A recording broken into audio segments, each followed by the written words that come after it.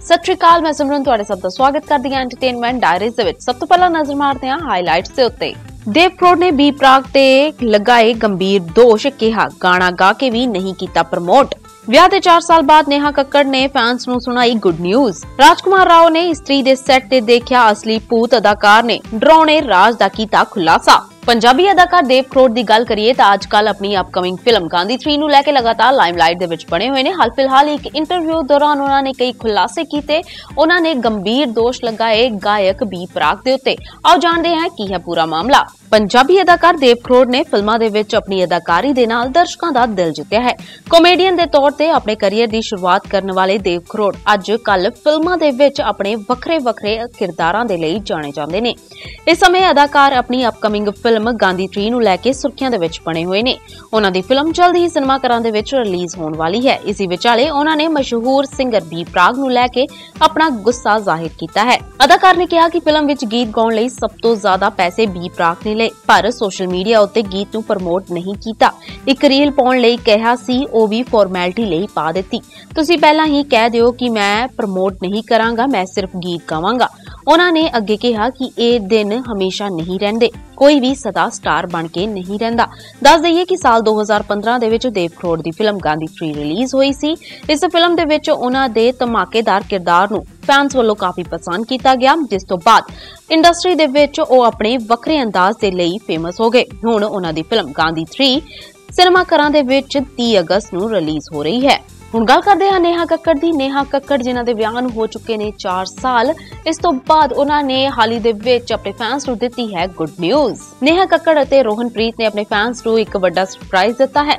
ਨੇਹਾ ਕੱਕੜ ਅਤੇ ਰੋਹਨਪ੍ਰੀਤ ਨੇ ਨਵਾਂ ਘਰ ਖਰੀਦਿਆ ਹੈ, ਜਿਸ ਦੀਆਂ ਤਸਵੀਰਾਂ ਇਸ ਜੋੜੀ ਵੱਲੋਂ ਆਪਣੇ ਸੋਸ਼ਲ ਮੀਡੀਆ ਇੰਸਟਾਗ੍ਰam ਉੱਤੇ ਸ਼ੇਅਰ ਕੀਤੀਆਂ ਗਈਆਂ। ਗ੍ਰਹਿ ਪ੍ਰਵੇਸ਼ ਦੀਆਂ ਇਹਨਾਂ ਤਸਵੀਰਾਂ ਦੇ ਵਿੱਚ ਤੁਸੀਂ ਵੇਖ ਸਕਦੇ ਹੋ ਕਿ ਨੇਹਾ ਕੱਕੜ ਆਪਣੇ ਪਰਿਵਾਰ ਦੇ ਨਾਲ ਖੁਸ਼ੀਆਂ ਮਨਾਉਣ ਦੀ ਨਜ਼ਰ ਆ ਰਹੀ ਹੈ। ਇਸ ਦੇ ਨਾਲ ਹੀ ਉਸ ਦੇ ਘਰ ਦੀਆਂ ਚਲਕੀਆਂ ਵੀ ਵੇਖਣ ਨੂੰ ਮਿਲ ਰਹੀਆਂ ਨੇ। ਇੱਕ ਤਸਵੀਰ ਵਿੱਚ ਨੇਹਾ ਕੱਕੜ ਆਪਣੀ ਮਾਂ ਦੇ ਨਾਲ ਨਜ਼ਰ ਆ ਰਹੀ ਹੈ, ਜਦੋਂ ਕਿ ਦੂਜੀ ਤਸਵੀਰ ਦੇ ਵਿੱਚ ਉਹ ਆਪਣੀ ਸਾਸੂ ਮਾਂ ਅਤੇ ਪਤੀ ਦੇ ਨਾਲ ਦਿਖਾਈ ਦੇ ਰਹੀ ਹੈ। ਇਹਨਾਂ ਤਸਵੀਰਾਂ ਨੂੰ ਸਾਂਝਾ ਕਰਦੇ ਹੋਏ ਨੇਹਾ ਕੱਕੜ ਨੇ ਆਪਣੇ ਪਤੀ ਰੋਹਨਪ੍ਰੀਤ ਸਿੰਘ ਨੂੰ ਨਵੇਂ ਘਰ ਦੀਆਂ ਮੁਬਾਰਕਾਂ ਦਿੱਤੀਆਂ ਨੇ। ਜਿਵੇਂ ਹੀ ਇਹਨਾਂ ਤਸਵੀਰਾਂ ਨੂੰ ਨੇਹਾ ਕੱਕੜ ਨੇ ਆਪਣੇ ਇੰਸਟਾਗ੍ਰam ਅਕਾਊਂਟ ਤੇ ਸਾਂਝਾ ਕੀਤਾ ਅਤੇ ਨਾਲ ਹੀ ਮੁਬਾਰਕਾਂ ਦੇਣ ਵਾਲਿਆਂ ਦਾ ਸਿਲਸਿਲਾ ਸ਼ੁਰੂ ਹੋ ਗਿਆ। ਨੇਹਾ ਕੱਕੜ ਦੇ ਵਰਕ ਫਰੰਟ ਦੀ ਗੱਲ ਕਰੀਏ ਤਾਂ ਉਹਨਾਂ ਨੇ ਕਈ ਹਿੱਟ ਗੀਤ ਬਾਲੀਵੁੱਡ ਇੰਡਸਟਰੀ ਨੂੰ ਦਿੱਤੇ ਨੇ। ਉਹਨਾਂ ਨੇ ਪੰਜਾਬੀ ਇੰਡਸਟਰੀ ਲਈ ਵੀ ਕਈ ਗੀਤ ਗਾਏ ਨੇ। ਸੋਸ਼ਲ ਮੀਡੀਆ ਤੇ ਗਾਇਕਾ ਦੀ ਵੱਡੀ ਫੈਨ ਫੋਲੋਇੰਗ ਹੈ। ਹੁਣ ਗੱਲ ਕਰਦੇ ਹਾਂ ਬਾਲੀਵੁੱਡ ਐਕਟਰ ਰਾਜਕੁਮਾਰ ਰਾਓ ਦੀ, ਜੋ ਕਿ ਅੱਜ ਆਪਣੀ ਫਿਲਮ ਹਿਸਟਰੀ 2 ਨੂੰ ਲੈ ਕੇ ਲਗਾਤਾਰ ਲਾਈਮਲਾਈਟ ਦੇ ਵਿੱਚ ਬਣੇ ਹੋਏ ਨੇ। ਫਿਲਮ ਬਾਕਸ ਆਫਿਸ ਤੇ ਖੂਬ ਧੁੰਮਾ ਮਚਾ ਰਹੀ ਹੈ। ਤੁਹਾਨੂੰ ਦੱਸ ਦਈਏ ਕਿ ਇਸ ਫਿਲਮ ਦੇ ਸੈੱਟ ਤੇ ਅਦਾਕਾਰ ਨੇ ਕੁਝ ਅਜਿਹਾ ਐਕਸਪੀਰੀਅੰਸ ਕੀਤਾ, ਜਿਸ ਨੂੰ ਸ਼ੇਅਰ ਕਰਦੇ ਹੋਏ ਸਭ ਹੈਰਾਨ ਰਹਿ ਗਏ। ਹਿਸਟਰੀ 2 ਨੇ ਬਾਕਸ ਆਫਿਸ ਤੇ ਹਲਚਲ ਮਚਾ ਦਿੱਤੀ ਹੈ। ਫਿਲਮ ਭਾਰਤ ਵਿੱਚ ਵੀ ਨਹੀਂ, ਵਿਦੇਸ਼ਾਂ ਵਿੱਚ ਵੀ ਕਮਾਲ ਕਰ ਰਹੀ ਹੈ। ਫਿਲਮ ਇੱਕ ਹਾਰਰ ਕਾਮੇਡੀ ਹੈ। ਫਿਲਮ ਵਿੱਚ ਇੱਕ ਲੁਟੇਰੇ ਪੂਤ ਦਾ ਆਤੰਕ ਦਿਖਾਇਆ ਗਿਆ ਸੀ। ਪਰ ਕੀ ਤੁਸੀਂ ਜਾਣਦੇ ਹੋ ਕਿ ਚੰਦਰੀ ਪਿੰਡ ਦੇ ਵਿੱਚ ਕੁਝ ਅਜਿਹਾ ਸ਼ਕਤੀਆਂ ਦਾ ਅਹਿਸਾਸ ਹੋਇਆ ਸੀ, ਜਿਸ ਤੋਂ ਬਾਅਦ ਨਾ ਸਿਰਫ ਸਿਤਾਰੇ ਬਲਕਿ ਨਿਰਦੇਸ਼ਕ ਤੋਂ ਲੈ ਕੇ ਕਰੂ ਤੱਕ ਡਰ ਗਿਆ ਸੀ। ਹਰ ਫਿਲਮ ਦੀ ਸ਼ੂਟਿੰਗ ਦੌਰਾਨ ਸਿਤਾਰਿਆਂ ਨੂੰ ਵੱਖ-ਵੱਖ ਚੀਜ਼ਾਂ ਦਾ ਅਨੁਭਵ ਹੁੰਦਾ ਹੈ। ਫਿਲਮ ਨੂੰ ਬਿਹਤਰੀਨ ਬਣਾਉਣ ਲਈ ਨਿਰਦੇਸ਼ਕ ਹਰ ਮੁਮਕਿਨ ਕੋਸ਼ਿਸ਼ ਕਰਦੇ ਨੇ।